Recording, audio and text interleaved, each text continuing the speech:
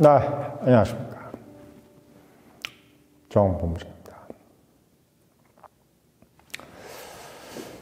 아, 지금 이제 총선이 한, 아, 세 달도 안 남았, 세 달 남았나요? 이제 거의? 4월 10일이니까. 예, 4월 10일 수요일입니다. 그러니까 오늘이 이제 8일이니까, 아, 거의 아마, 어, 세 달 딱 남았습니다. 지금 뭐 한동훈 비대위 체제로 지금 이제 국민의힘은 가고 있고 어, 민주당은 어, 뭐 이재명을 중심으로 계속 이제 가고 있는데 아무튼 지금 뭐 가장 핵심은 어, 어, 이제 이준석 그리고 이낙연 이분들이 이제 나가서 얼만큼 이제 어, 기존에 있는 어떤 레짐을 깰 수 있느냐? 뭐 이런 부분과 어, 그리고 과연 이제 한동훈 비대위가 뭔가 좀 해낼 수 있느냐? 그러니까 국힘이 지금 현재 갖고 있는 어, 113석이잖아요. 그렇죠 113석. 그러니까 지금 현재 이제 113석으로는 어떤 이제 개혁도 할 수 없고 어, 뭔가 추진을 할 수 없는 어떤 그런 의석수이기 때문에 어, 뭐 한동훈 비대위가 해야 될 가장 큰 이제 목표는 어쨌든 과반 의석 확보죠. 음, 그러니까 비례다, 비례 의석까지 다 합해서 150석을 넘어야 된다.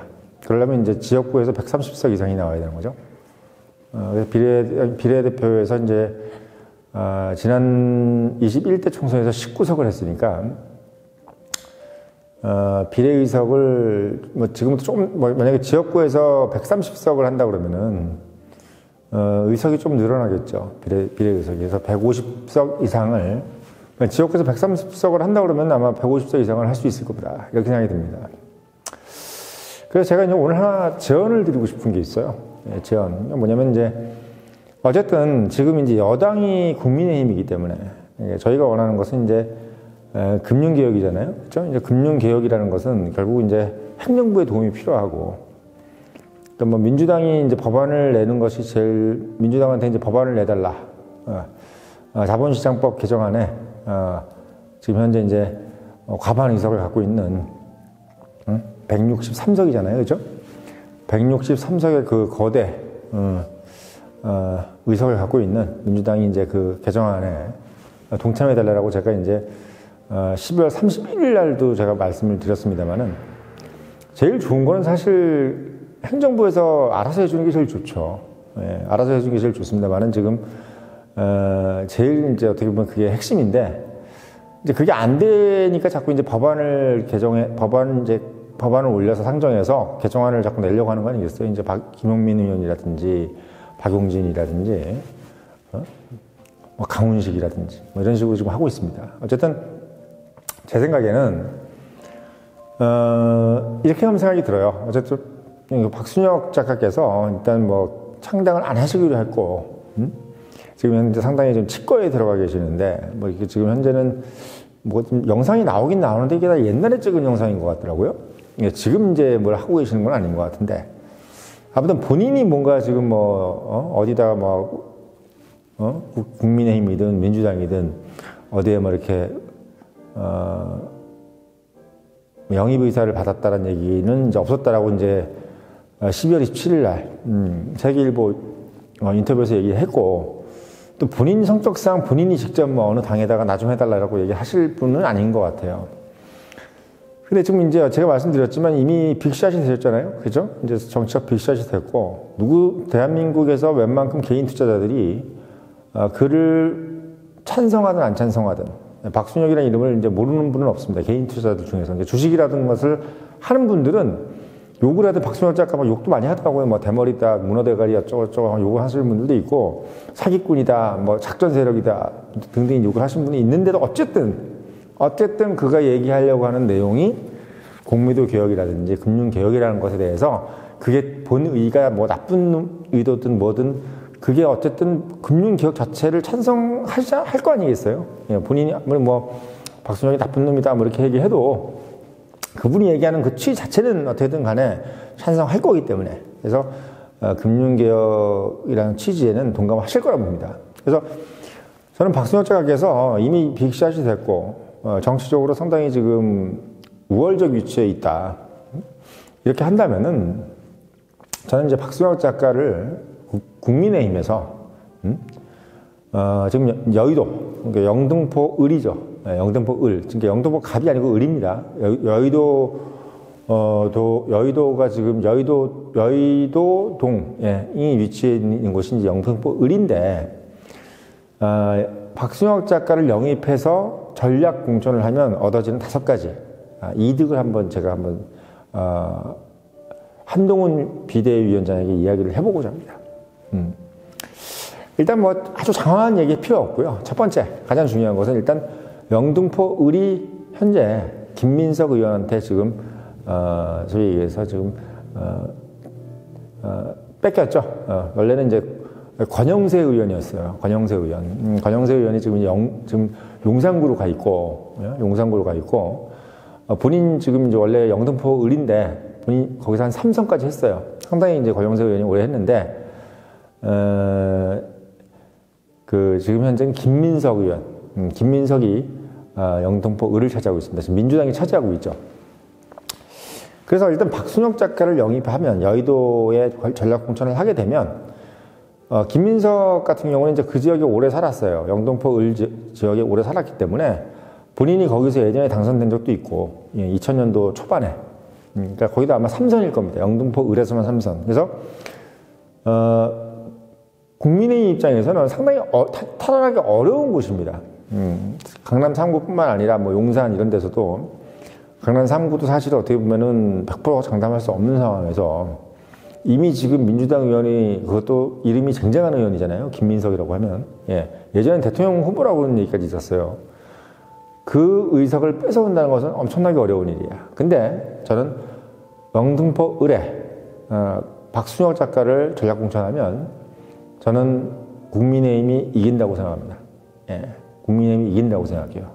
예. 가장 큰 이유는 일단 박순혁 작가가 갖고 있는 여의도의 여의도 여의도 자체 그러니까 소위에서 부촌의 이미지 그러니까 박순호 작가 이미지가 막 엄청 그 소위 얘기해서 막 잘나고 뭐 소위 얘기해서 뭐 있는 집 자식 같은 이미지가 아니에요 솔직히 까놓고 얘기해봤습니다 그 무슨 말이냐면 영등포 을에서 여의도를 빼고는 다 민주당 색이야 음, 여의도 여의도만 여의도만 압도적으로 국민의힘을 찍어줄 뿐이지 나머지 신림동이니 뭐 신길 아 신길 이쪽은 다 민주당입니다.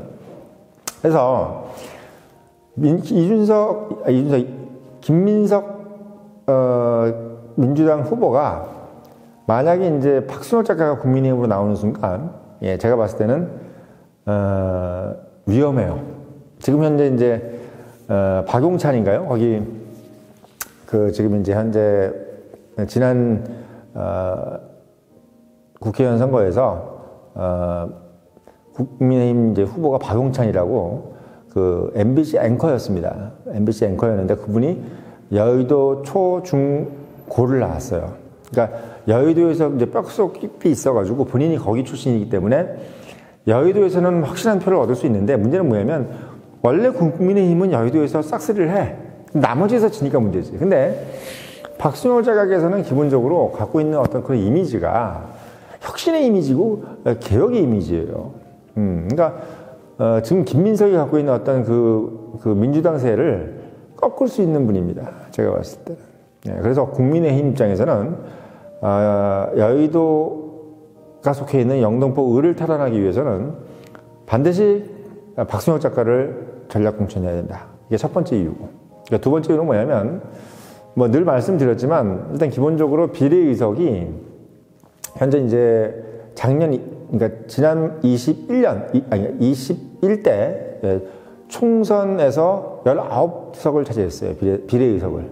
예, 32%인가 해서 19석을 차지했습니다. 음.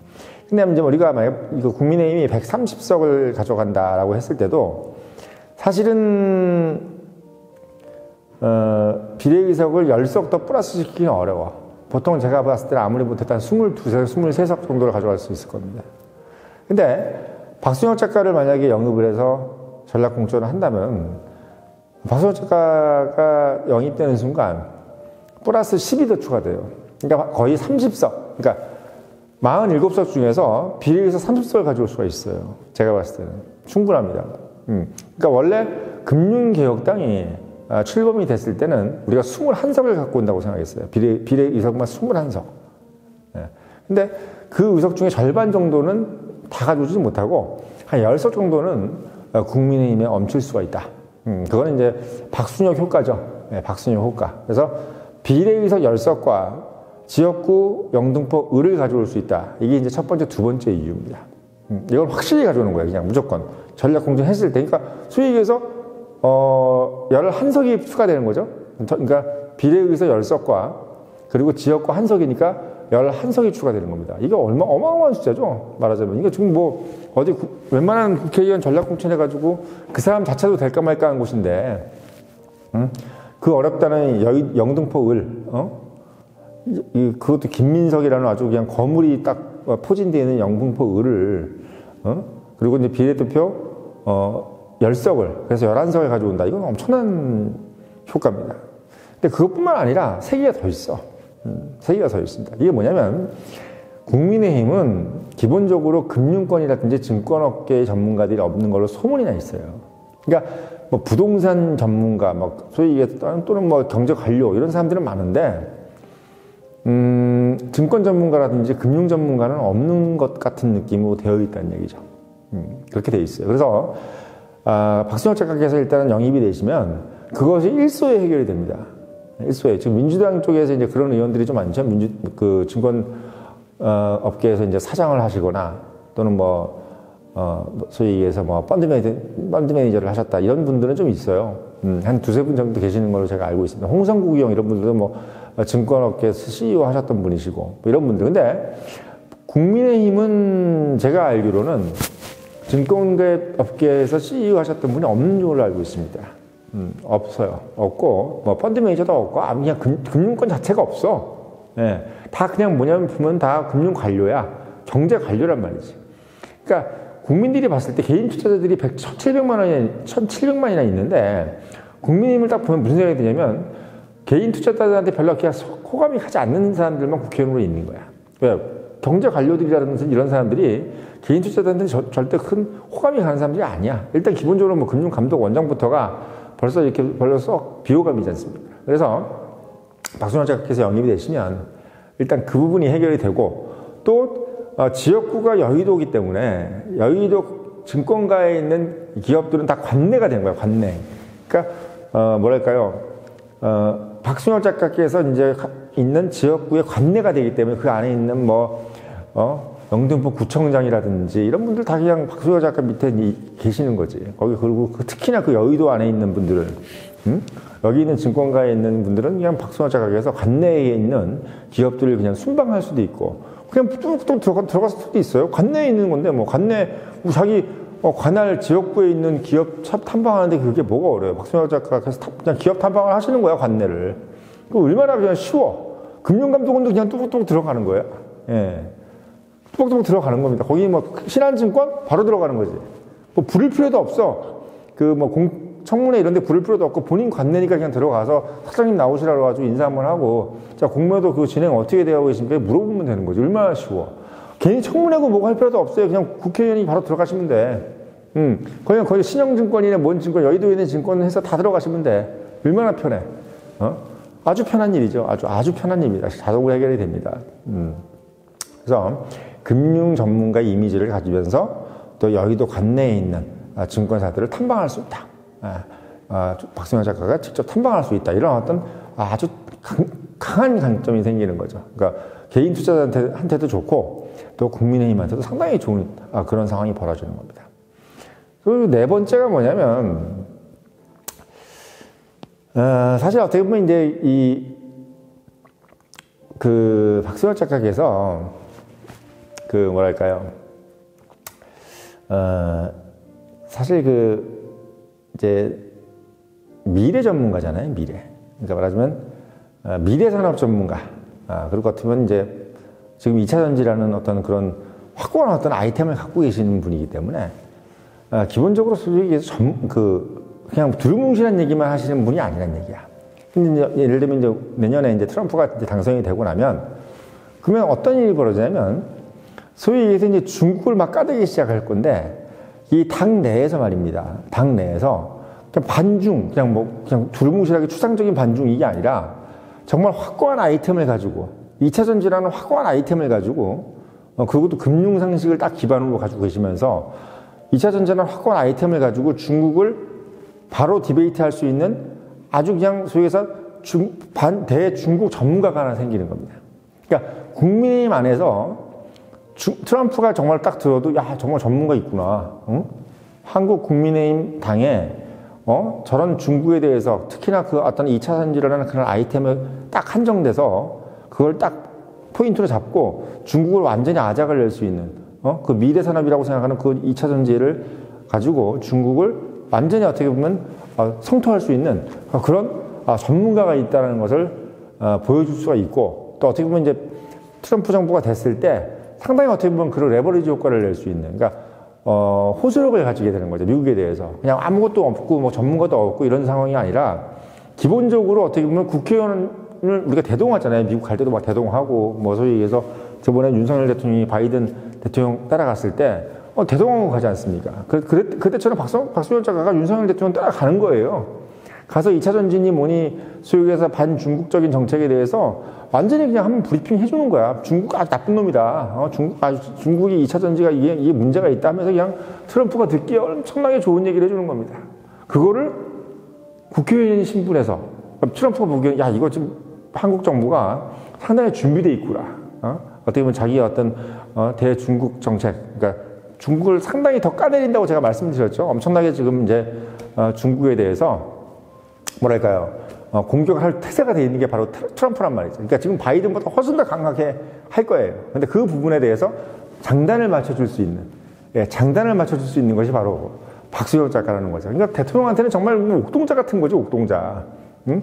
장관들도 대, 대, 잘 모른단 말이야. 뭐 통상 장관 이런 사람들도 그냥 왜, 이 통상을 해야 되는데, 어, 장관이 그런 얘기하면 중국 애들이 갑자기 뭐 뭐또 뭐 한국 상품 막 불매운동하면 어떡해. 근데 국회의원이 그런 얘기 하는데 뭐라 그럴 거야. 원래 국회의원은 국민을 대변하는 거기 때문에 괜히 뭐 욕을 할 수가 없는 거야, 중국에서. 왜? 제가 무슨 소위에서 행정부 관료가 아니잖아. 그렇기 때문에 박수홍 작가께서 국회의원 신분에서 얼마든지 중국을 욕을 할 수 있다는 얘기지. 그러니까 행정부 관료가 못하는 얘기들을 박, 그, 윤석열 대통령도 직접 못하는 얘기들을 박수홍 작가가 그냥 시원하게 해주는 겁니다. 트럼프 앞에서. 그럼 트럼프 입장에서는 한국 정부를 대표하는 것 같은 느낌이 들고 또 한국 정부 입장에서는 국회의원이니까 괜찮지 않느냐? 우리가 뭐 내가 얘기했냐? 아니면 뭐 통상장관이 얘기고 외무부 장관이 얘기한 것도 아니고 국회의원이 얘기한 건데 무슨 무슨 문제가 있냐라고 얘기할 수가 있다는 얘기지.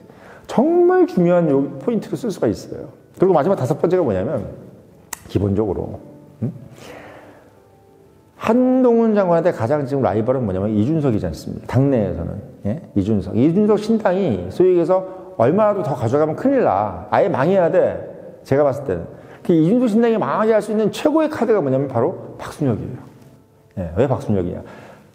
이준석이 가져갈 그 비례당, 당, 당, 비례의석을 한석도 못 가게 가져갈 수 있는 분이 바로 박순혁 작가라는 거지. 그래서 뭐 이준석이라든지 이낙연 신당이 완전 괴멸 수준으로 가게 만들 수 있는 유일, 정말 어떻게 보면 히든 카드. 어, 생각지도 못했던 이준석이나 이낙연 신당이 생각지도 못했던 카드가 바로 박순혁이야. 박순혁이라는 존재가 없었으면 그래도 어느 정도 한 대여섯 석은 가져갈 수 있는 그런 어, 생각을 할 수 있었는데 박순혁이 국민으로 가는 순간 또는 박순혁이 금융기획당을 창당하는 순간 그 사람들의 운명은 끝나는 거예요. 끝나는 겁니다. 특히 박순혁 작가께서 야 내가 어떻게 보면 윤석열 정부하고 한번 믿어보겠다. 한번 해보겠다. 그리고 여의도 딱그 배치 다 알고 정말 막 신용, 신, 신한증권이라든지 어? 이런 증권 들어가서 막 마장 내고 이러면은요, 그냥 어떻게 보면 그 어, 몰표가 뭐 다음 지방선거까지 간다는 얘기지. 예? 대통령 선거까지 그냥 가는 거예요. 예. 그러니까 그 어떻게 보면 그 흐름이 한동훈 장관한테는 이준석이 제거해줘. 응? 지방선거 이기게 해줘. 총선 당연히 이기야지. 총선 이기게 해줘. 이준석이 제거해줘. 지방선거 이기게 해줘. 그리고 대통령 선거까지 가게 해줘.